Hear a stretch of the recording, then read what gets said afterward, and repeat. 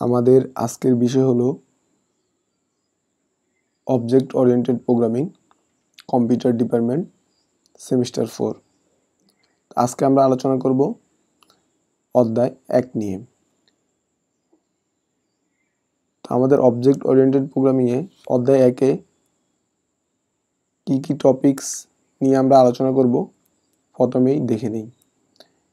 আমাদের চ্যাপ্টার ওয়ানে টপিক্সের নাম হলো overview of C sharp programming and the dot net framework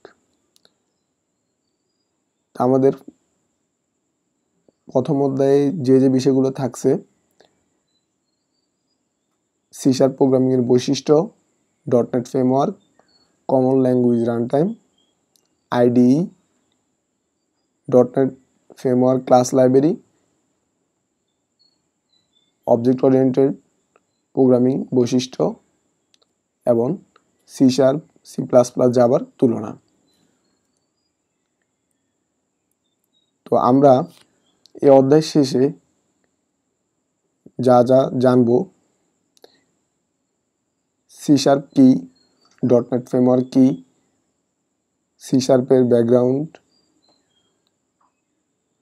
C sharp দিয়ে কি অ্যাপ্লিকেশন তৈরি করা হয়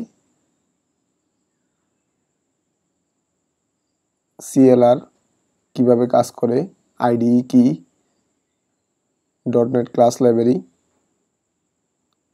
এবং অবজেক্ট ওরিয়েন্টেড প্রোগ্রামিংয়ের বৈশিষ্ট্য এবং সি শার্প আর জাভার মধ্যে পার্থক্য। তো সি শার্প আমরা জেনে নেই what is C sharp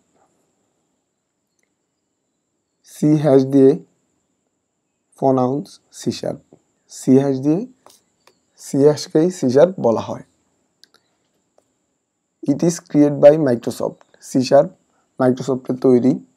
That's run on the dot net framework এটা. ডটনেট ফ্রেমওয়ার্কে রান হয়।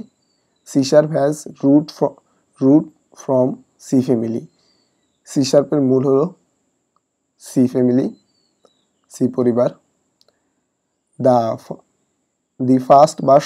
released year two two thousand two এটার প্রথম ভার্সন রিলিজ হয় দুই হাজার দুই সালে। The latest version C sharp eight এটার বর্তমান ভার্সন আট। The latest the latest version released September two এটার আপডেট ভার্সন সেপ্টেম্বরে দুই হাজার উনিশে। রিলিজ হয়। তো হোয়াই ইউজ সি শার্প কেন ব্যবহার করা হয়?